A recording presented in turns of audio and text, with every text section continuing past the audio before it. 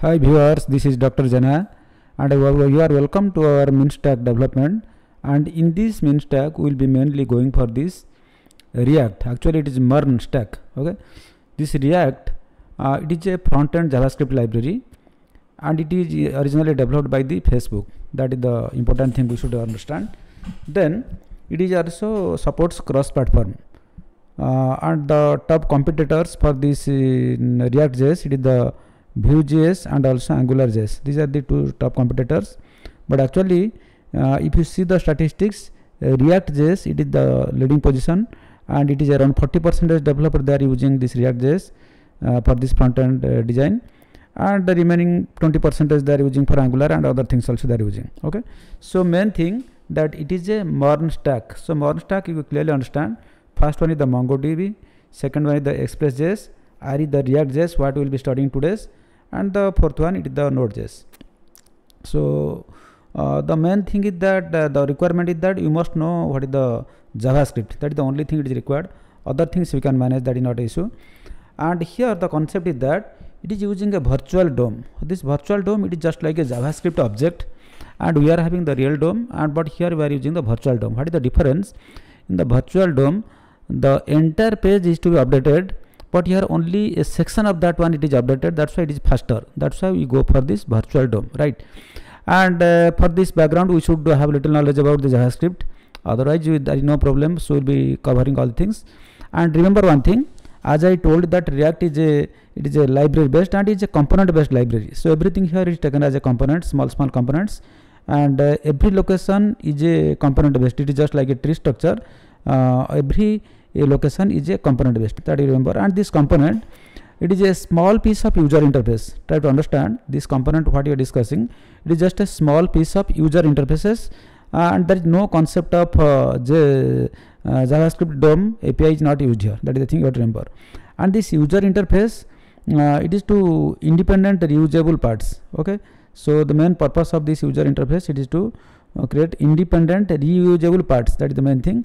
And we are having two type of uh, uh, things here. One is the functional one is the class based.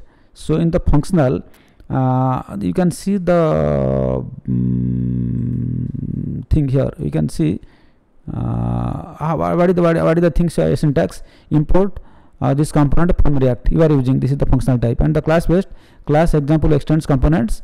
Then use the render and in the render uh, method so return div hello world. So like that it will be going for that one.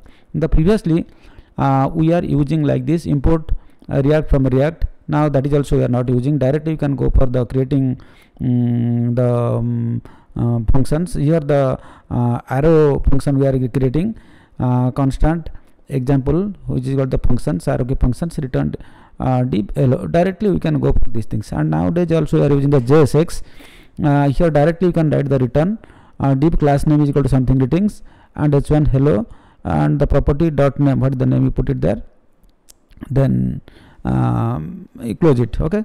Then the most important thing how do we uh, install and set up this uh, react environment? So there are two way we can create it manually using the webpack or the babel and the babel.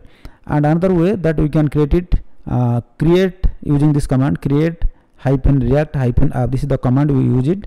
So how you work on that one? So i will give a demonstration for that one. Let us have small theory here. So first you create a directory. Uh, suppose i want to create a directory react uh, underscore app. Uh, you can write my first react or whatever i am writing uh, creating a folder that is react underscore app. Okay? So this you create it here in the e drive or any drive you want to show. Uh, then you change the directory to react app. You are there then then you just uh, uh, type this command npx space create uh, this is the react. Create react create hyphen react hyphen app. This is the thing only what i told you that. This is the thing create react app. So this is the command you are using. And dot uh, slash. So this is the things it will create it there. And the number of uh, module and everything it will be created under that one. Then to run that one you just uh, run npm space start. Once you run it in the by default by the port number 3000 you can run that program okay? Now let us move to our uh, uh, coding part. Now in the coding part you see what i told you that i by default you here uh, you type the start here okay? You start the in the start you type the command. Once you type the command prompt cmd then it appears like this the first one c users dr gunamanijana just i want to go to the e drive so e colon enter. Uh, then you create a folder like react underscore app then how do you do that mkdir space react underscore app. Enter it there. So it is there. Then you change your directory. Cd space react underscore app. Then you you are there inside this directory. Okay? Then you go into this code mm, uh, space dot. Then you you are there inside this one. You are uh, inside this one. You, you are already there. Right? So now what you need to do here uh, yeah. Yeah. What you need to do here you are here there. Now uh, I told you that to create that one to install that one we need to use the command npx space create react app. This is the command you have to put it here. The just I'm typing. Uh, you are already there the react uh, underscore app. There I'm typing npx space create hyphen react hyphen app space dot slash.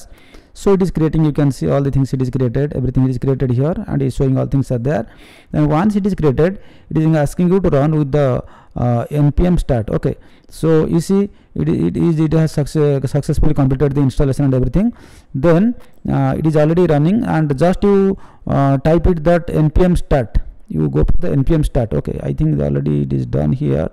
Mm, yeah then you then when you are starting all the things it is showing you go to the localhost 3000 port number. So once you go to our port number and you check it here in the um, otherwise you do it here don't worry for these things.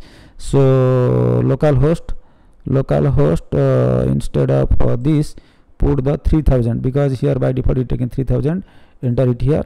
Now you can see uh, react is successfully running can you see here? So you can clap your back. You have successfully installed and you already run your first program. Uh, that is how uh, the react is installed and configured. Fine. So this is all about the uh, first part of our react.js where we have given a brief idea about what is this react.js and purely i want to tell you again it is purely a component based. What is a component based? You see this is a, a page there.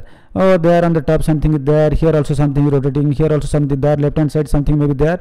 So these are small small components. What it happens whenever um, in the real dom we refresh the entire page. We update the entire page. But here only a part of that is refreshed. That's why it is fast and it is most widely used by the developer and it is specifically used by the MERN, MERN stack. Okay.